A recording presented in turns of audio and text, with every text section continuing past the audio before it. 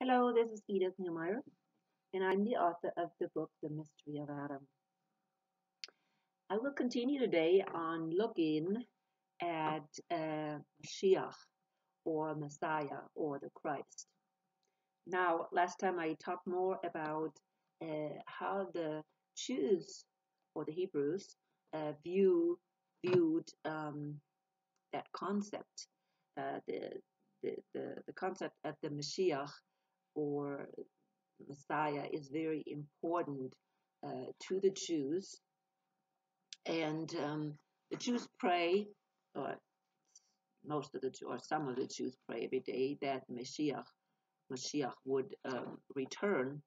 And of course, I said that the Jews have their own concept of Mashiach, and that is kind of uh, pretty sad because they have had that, or not all Jews, but many Jews have this certain concept that Mashiach will be an earthly ruler.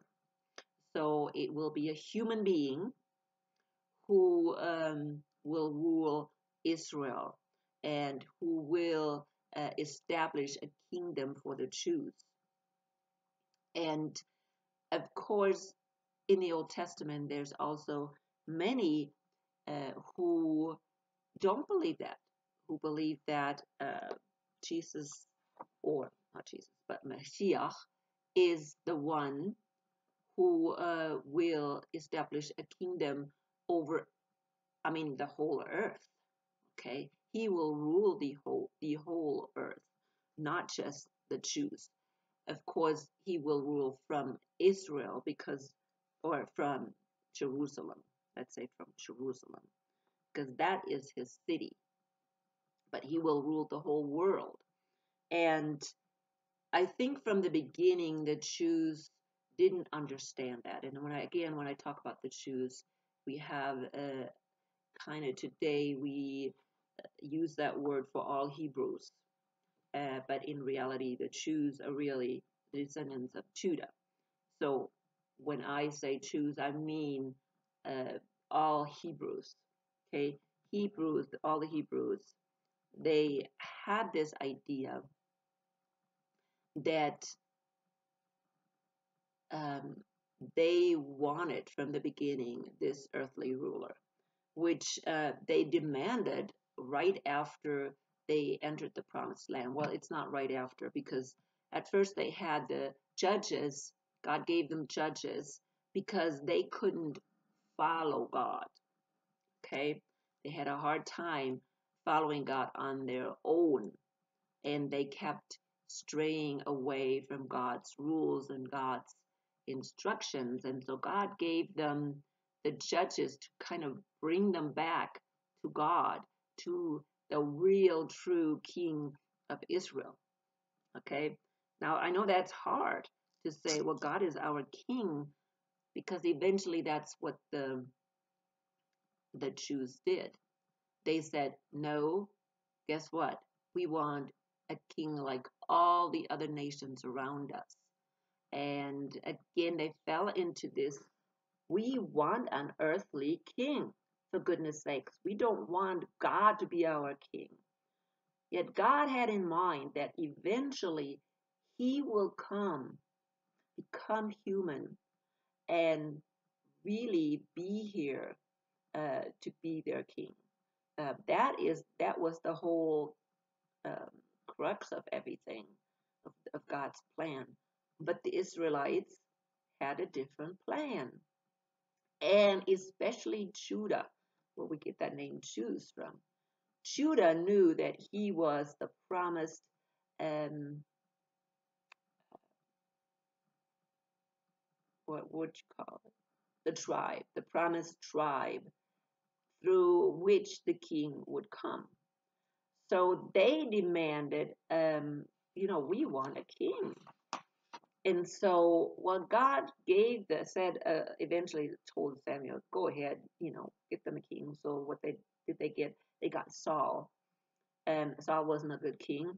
And so then finally God found a more adequate one, which was David.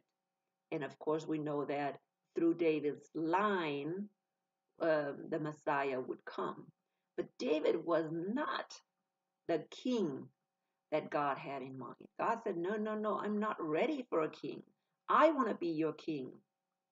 Uh, you're going to have to wait for me to put things in place. And so David is only a, a symbol for true Messiah, Mashiach. Okay, he is not the Mashiach. He is not the true king of Israel. But God wanted them to wait for that true king. And so from the beginning, the Jews constantly wanted to have that king, but they failed. They failed miserably. I mean, those kings that they established, uh, they failed. Uh, right after Solomon, the kingdom was divided. Solomon couldn't even keep the kingdom, kingdom together. Kingdom was divided right after Solomon and into two. Uh, the the ten tribes of um, Israel split off from Judah, Benjamin, and I don't know Ephraim, but I just kind of know for sure that, that Judah and Benjamin were together, and then some of the Levites, um, of course, stayed with Judah as well. So that you know they broke the other broke loose. Why did they break uh, from uh, uh, the main you know the the main country? They did it themselves. Why did they break off? Well, because they didn't they did not agree with um, who is supposed to be king. Okay, they didn't agree, and the, the minute they broke loose, I mean, they all their kings were bad kings, and they all they all um, sinned against God, and the kings uh, led the whole, you know, all the tribes into idolatry. So only on the Judah side, um, they had more kings that were actually bringing the people back to God again. But eventually, you know, still they were still whoring with idols, and so God sent them into Babylonian captivity. They come back, and the same thing happens again.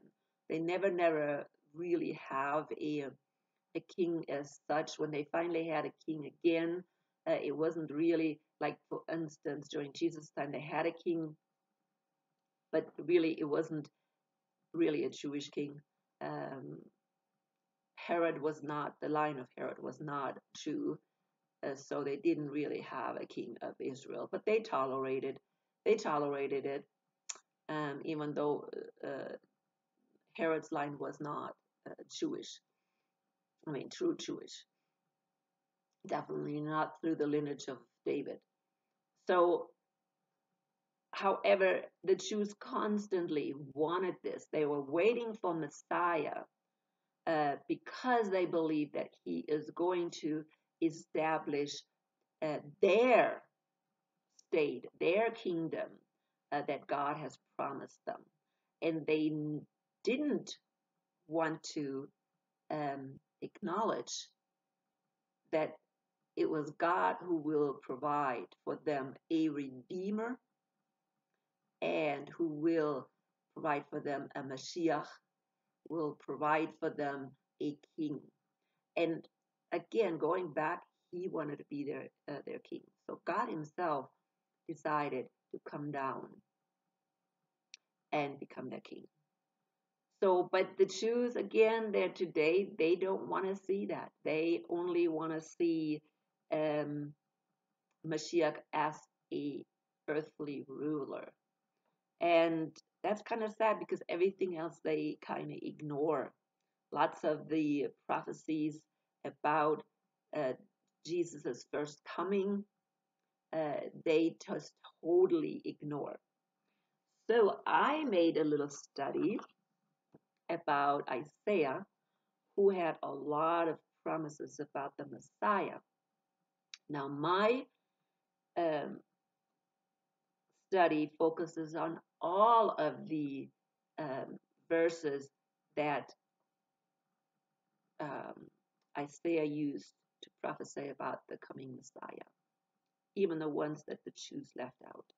Again, when you uh, see one of them that focuses on the suffering servant, which they call Messiah ben uh, Joseph, then they will ignore that. Matter of fact, a lot of times they even ignore uh, Messiah, Mashiach ben, ben uh, Joseph altogether because they focus on the real Messiah or the uh, Messiah, uh, Mashiach ben, uh, ben David.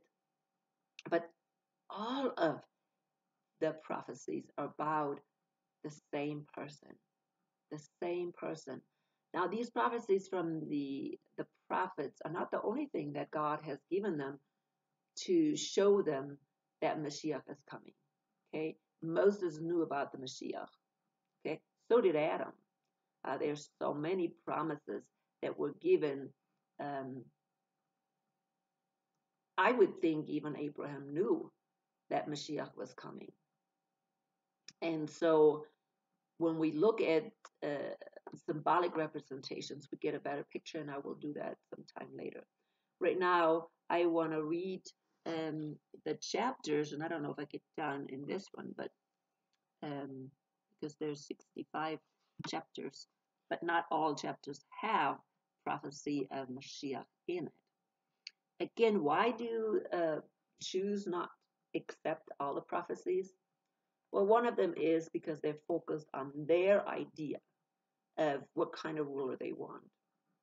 Not only that, they are, uh, you, you can only really understand some of these verses if you really have the Holy Spirit. Without the Holy Spirit, you can read them and still don't understand them. Only if you want to.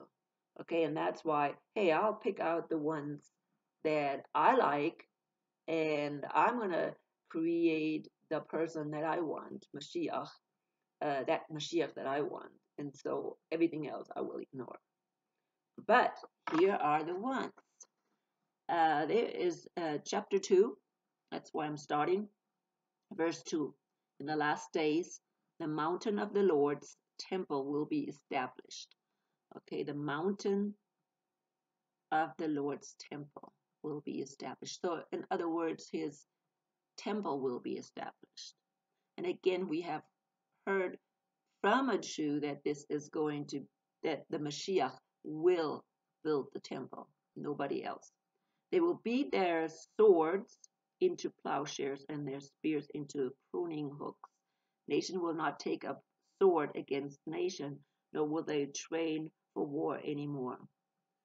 Now, say that will be at the end, in the last days, he says here, right?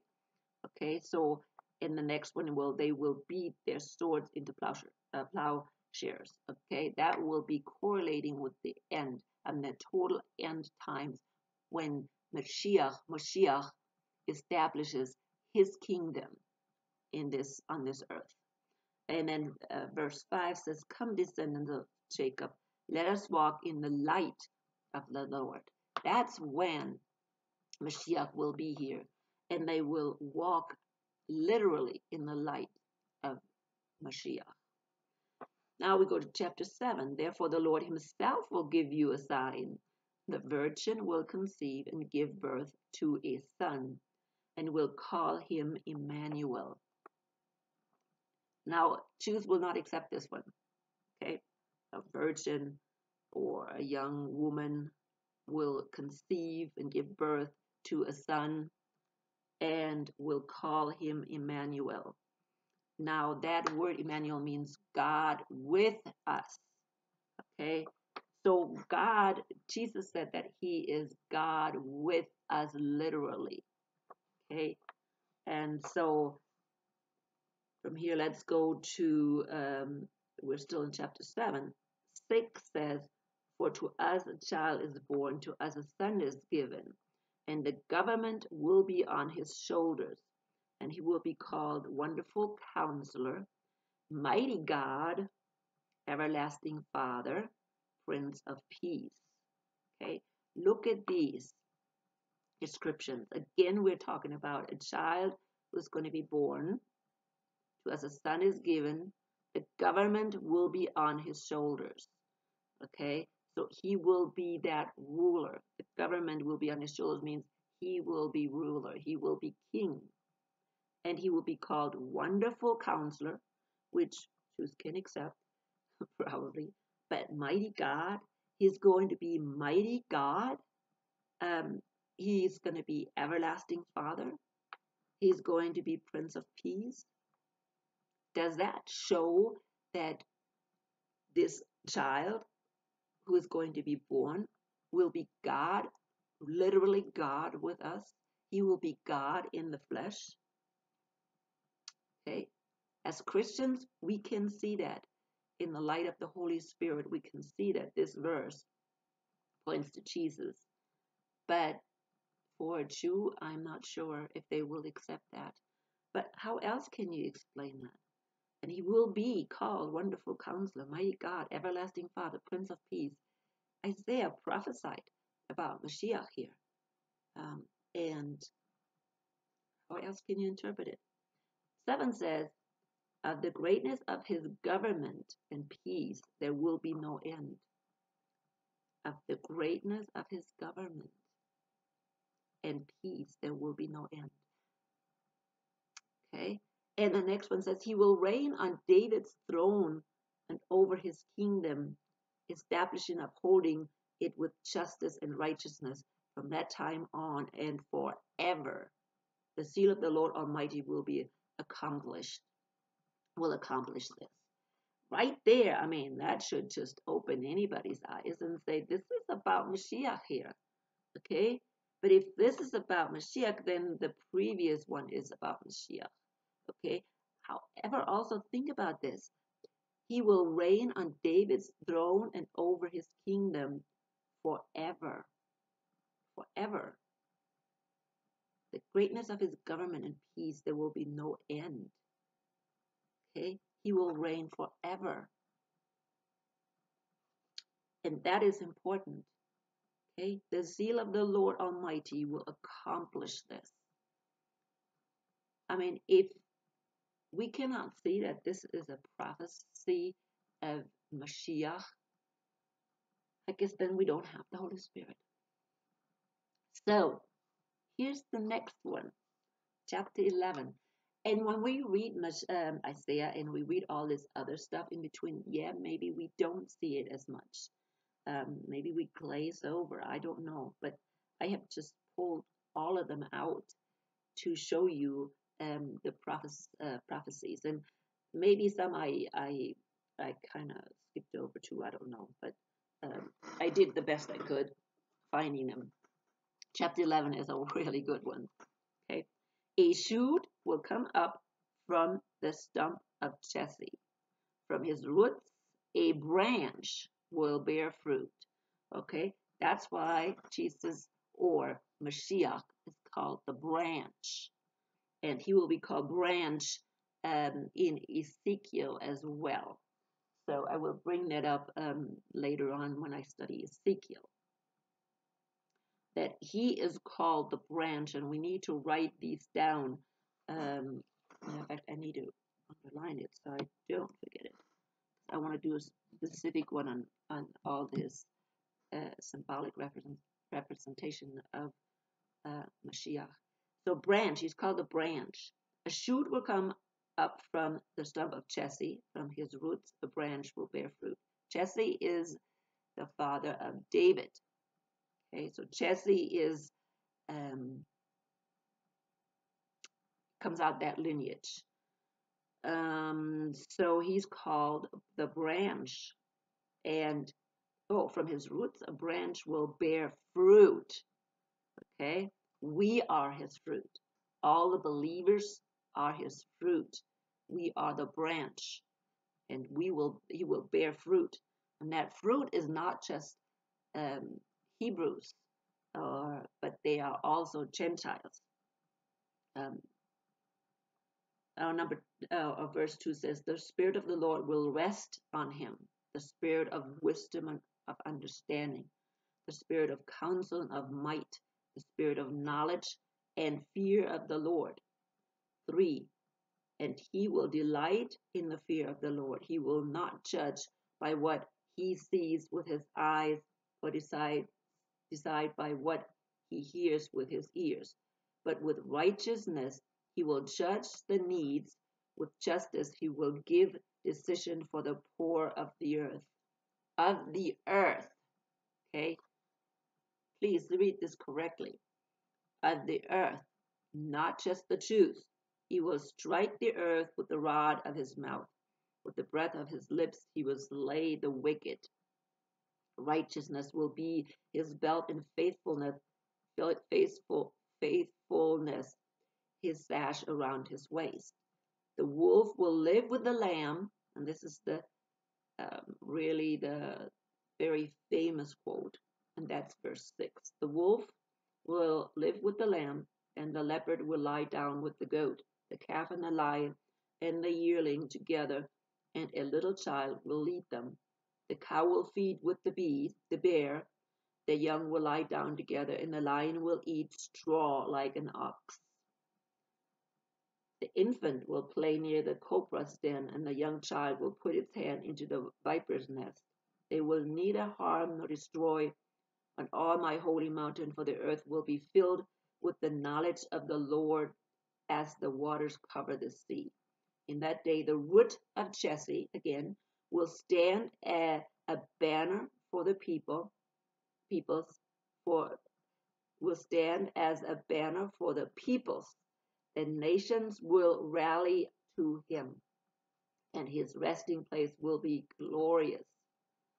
Okay? In that day, the Lord will reach out his hand a second time, second time, to reclaim the surviving remnant of his people from Assyria, from Lower Egypt, from Upper Egypt, from Cush, from Elam, from Babylonia, from Hamath, from the islands of Mediterranean. He will raise a banner for the nations and gather. Okay, now listen to this. He's not just gathering his people, he will raise a banner for the nations and gather the exiles of Israel. He will assemble the scattered people of Judah from the four quarters of the earth. So, who is doing that? It is Mashiach. Okay, Mashiach will come. This whole thing is about Mashiach talking about the uh, the branch of Jesse. Um, let's see what else. Is it? yeah, the root of Jesse. That's what it called. In that day, the root of Jesse will stand as a banner for the peoples. The nation will rally on um, to him, and his resting place will be glorious. This is all talking about Mashiach. Okay, we are. I have read, um, was Isaiah 11 uh, 1 through 12. It's just, you just can't go any different. Um, here we are, we see it that this, that Mashiach will um, rule the nations. Okay, will rule the nations, not just. Um, it says he will raise a banner for the nations okay, for the nations. So all nations will be um, under him. He will be a king for all nations. And then he gathers the exiles of Israel. Okay? So that is something to remember.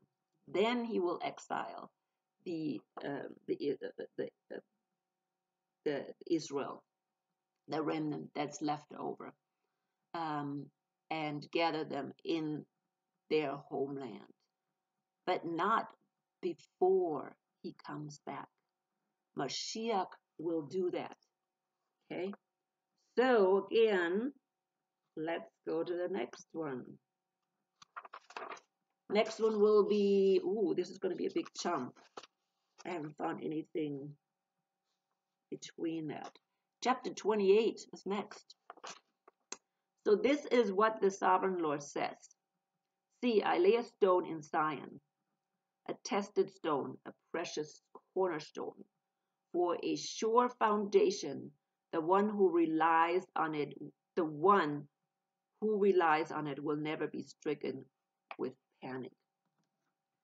Okay, again, this cornerstone, and I want to, because another symbolism for Mashiach is a stone. It is especially the cornerstone. Mashiach is the cornerstone. And the cornerstone for what? Um, that is the question. Uh, uh, a sure foundation. A sure foundation for what? Um, and it says, the one who relies on it will never be stricken with panic. So, that again doesn't say the Israelites will um, rely on him. No, everybody, all the nations of the world, anybody who will rely on, on him will be part of this building that's going to be built on the foundation. You don't have a foundation just to have a foundation. You don't have the cornerstone uh, and not continue the building, right?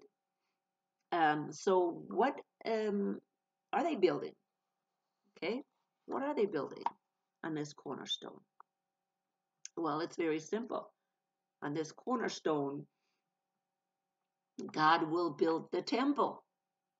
Okay, Jews, they want a temple. They wanted a temple from the beginning, just like they wanted to have a king from the beginning, just like the other nations. Okay, they want a temple like the other nations, and guess what they got? Exactly that, a temple like the other nations. Um, when I look at a, a picture of the Temple of Solomon and Herod, um, they're not any different. These temples look like Gentile temples. There's no difference. Okay, that's not what God had in mind. People, we need to wake up. And I will show that um, some other time more. But God has no interest in building a temple uh, with stones, dead, cold stones. He wants to build his temple with living stones. And see, Jesus here, or not Jesus, I shouldn't say Jesus yet, right? But Mashiach, Mashiach is that cornerstone, that living cornerstone. Okay, he is not a dead, dead rock. And so I don't think that God will build on this living cornerstone and this foundation with dead rocks. That's not the way it is. He will build on it with living stones. And of course, we know from Paul that this temple or this building that is being built on Jesus is a living temple, and it's the church. Okay, it's the body of Christ that's being built on Jesus. So, yeah, I don't know. But here it says, so this is what the sovereign Lord says See, I lay a stone in Zion, a tested stone, a precious cornerstone for a sure foundation. The one who relies on it will never be stricken with panic. Okay, I don't know if Jews actually acknowledge that verse as referring to their Mashiach. Don't know. And then the next question is, how do they actually interpret this? Who is this cornerstone? Do they understand that Mashiach is that cornerstone? I don't know. All right, let's go to chapter 42. Here is my servant. Aha, the servant, right? And Mashiach, um, Isaiah talks a lot about this, the servant, okay, as the Mashiach as the servant. And I think um, those are the verses that the Jews cannot uh, accept very uh, easily.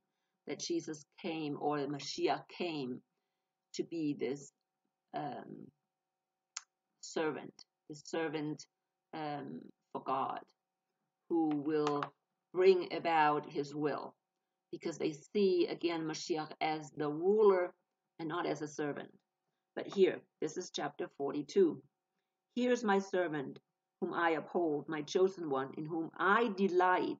I will put my spirit on him, and he will bring justice to the nations. Ha ha, there we go again. The nations. He will bring justice to the nations. Um, he will not shout or cry out or raise his voice in the streets. A bruised reed he will not break, and a smoldering wick he will not snuff out. In faithfulness He will bring forth justice. Now, who do they think this is? Who do the Jews think this is talking about? Don't they understand this is about Mashiach? This is Mashiach. Okay? This is Mashiach. Uh, the Spirit is upon him. Okay? Who will bring justice to the nation. Um, 4, verse 4 He will not falter or be discouraged till he establishes justice on earth. In his teaching, the islands will put their hope. This is what God the Lord says, the creator of heavens, who stretches them out, who spreads out the earth with all that springs from it, who gives breath to its people and life to those who walk on it. I, the Lord, have called you in righteousness. I will take hold of your hand. I will keep you and will make you to be a covenant for the people and a light for the Gentiles. This is again talking about Mashiach. Yes, Jews are supposed to be a covenant for the people and a light for the Gentiles. They have never done that. Okay? When you're a light, you have to really give your light. You can't uh, put your light under, uh, uh, you know, a covering so nobody can see it, um, or keep it away from everybody. This is what Mashiach, Mashiach will accomplish. I, the Lord, have called you in righteousness. That is talking about Mashiach. I will take hold of your hand. I will keep you and I will make you to be a covenant for the people. Mashiach is a covenant. Okay, he is the new covenant because the Jews lost the old covenant. They destroyed it, um, and God sent them away because they whored with idols. Um, now he will make a new covenant, um, and that new covenant is with the Jews and the Gentiles this time, not just the Jews. To open eyes that are blind, to free captives from prison, and to release from the dungeon those who sit in darkness. Now, this is talking about not literal dungeons, not literal, uh, you know, blindness, but it's blindness, spiritual blindness. Okay? He wants to set the captives free. He wants to open our eyes. He wants to open the eyes of everybody. The Jews first, okay? Gentiles second. Um, but when the Jews rejected him, he went to the Gentiles. Now, did he know that? Yes, of course he knew that. Because from the beginning, he wanted to reach the whole world, everybody. He wants everybody back in in, in into his uh, fellowship, and and he wants to have a relationship with everybody. So this again, chapter 42, 1 through 7, um, is about Mashiach. Okay, it is totally about Mashiach. All right, next one is chapter 43. And see, I need to check on time. Oh my goodness. This is way over time because I need to keep it down. Well, I will, I think I will stop today and then make the next one a part. Um, I have five pages here of uh, quotes, and really I want to read them all because uh, I think that's very important. It's a very good introduction to who Mashiach is, and and I hope you you take notes so you can write down these uh, verses and uh, read them for yourself, and just let the Holy Spirit guide you. Um, and so then next next time I will pick up on chapter 42 um, because that's what, how we went. You can also this would be a good one for you to do. Just read Isaiah 1 through chapter 1 through 28. No, actually, I'm reading 42. Um, and just read them and see what kind of verses you can find. Because uh, I may have missed some, I don't know. But these are the ones that I just came up with. And again, I checked this out myself. I didn't take somebody's word for. Um, so I will finish up today, and then next time I will um, do the second uh, the second part, and it may have to be a third part too. Again, I only read one and a half pages, and I have five. So, yeah, I think I will be doing this for a while. All right, and I think I'm doing it because I think it's very important. Um, it is important that we are familiar with um, these prophecies. Now, I know Isaiah is very long, and I understand why people uh, just kind of get lost in the whole historic stuff that um, that, that uh, Isaiah was describing. Um, and just once in a while, he comes up with these prophecies. Um, so, anyways, but I think it is important if we want to study and learn about Mashiach, we have to know what um, is written about him in the Old Testament. Okay, see you soon. Bye.